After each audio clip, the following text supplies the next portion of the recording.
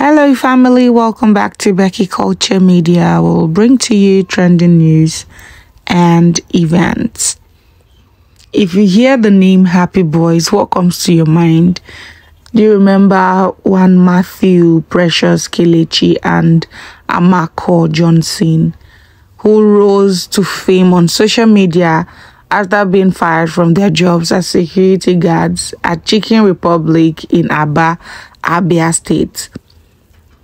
These guys were caught dancing while on duty. I, I don't know why they were dancing, but they were just, I think they were just trying to make people, um, just keep people entertained or make people laugh. It was obvious that they were just trying to, you know, make people relaxed.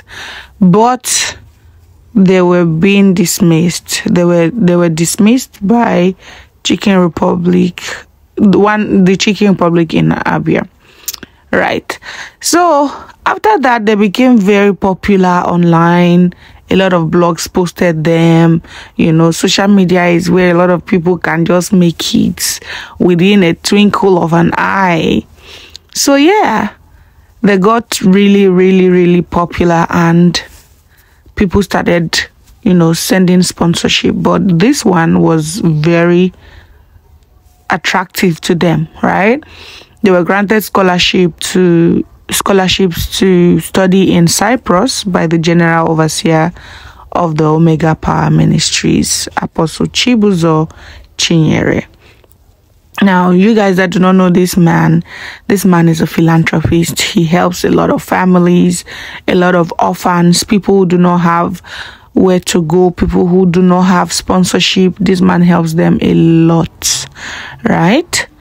So he took them to Cyprus, paid for everything, their flights, their school fees, and all.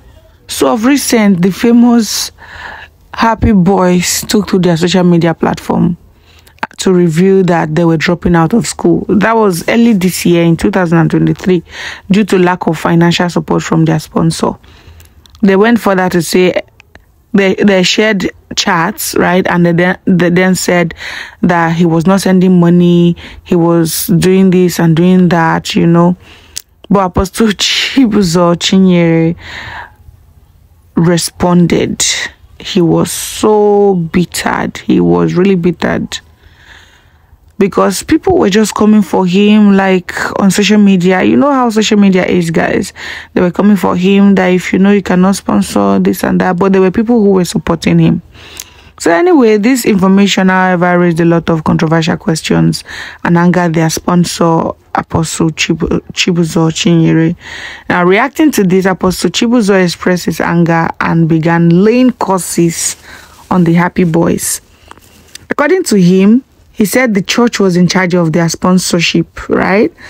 He said the church was in charge of sponsoring their scholarship, including other benefits, which could be their books or everything they needed, you know. But due to the increase in dollar rates and dwindling the dwindling economic situation in the country, the church was not able to keep up with the sponsorship, but he was still doing a little, right? Because they, they showed their chats, right, where they were asking for money for their rent, you know. But these boys, for, for, for, I feel like these boys have been in Cyprus. Why they are doing, and then they are doing well on social media. Are they not getting gigs? Are they not getting other means of getting money. At least they should look for other means of getting money to relieve their sponsor even a bit, right? This whole thing got Apostle Chibuzor really, really sad that he came online and was laying curses, guys. He posted on Facebook saying, I place this curse from the pain in my heart that doing good becomes evil that whosoever, no matter who that person is, that I used, he didn't pay one kobo. He didn't spend one naira. It is from offering and tithe that people drop in the altar. What other pastors used to buy, to buy private jets, I say, let me use it to help you. Now, I do you good. You use evil to pay me. You will remain poor forever. You can never achieve anything in life as long as whether anywhere you are, you suffer poverty. You can never achieve, you can't even buy one plot of land. If there's if there if there's other clothes you've bought through the money I used in sending you to Cyprus, you sell those clothes to feed. You become so wretched. Wow. Wow. This when I saw this early this year, it was it was mixed emotions because yes, of course what they did was very wrong, but I don't know, he was he was really sad that he had to cause them, but I don't think cursing is um, you know, the solution to, you know, all of this. But anyway, the news now, I was giving you an introduction to uh what really happened, backstory, right? But the news now is that these boys have been arrested.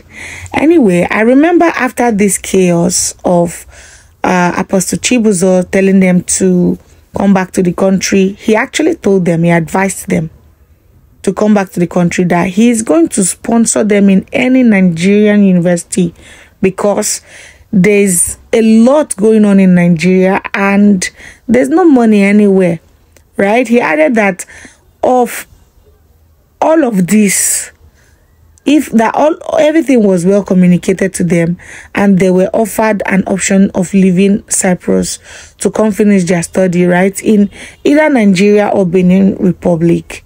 Now, these boys blatantly refused.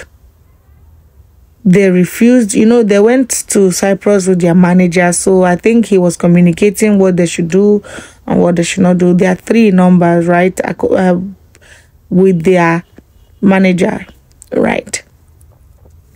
They refused to come back. They've been there.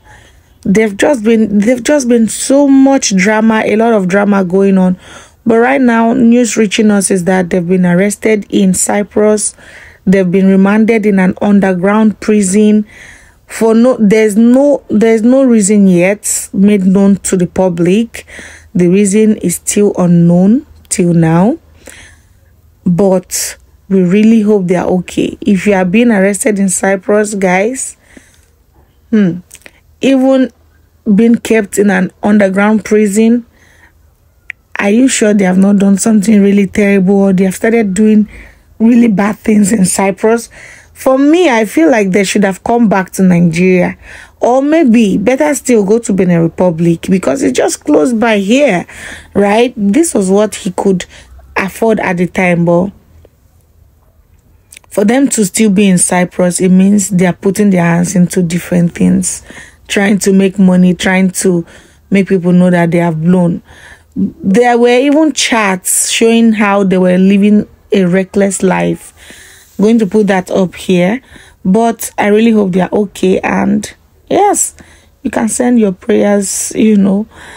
Thank you so much for always listening to us. Thank you for always watching our video please give us a thumb up if you haven't and please subscribe to the channel hope to see you on our next video bye for now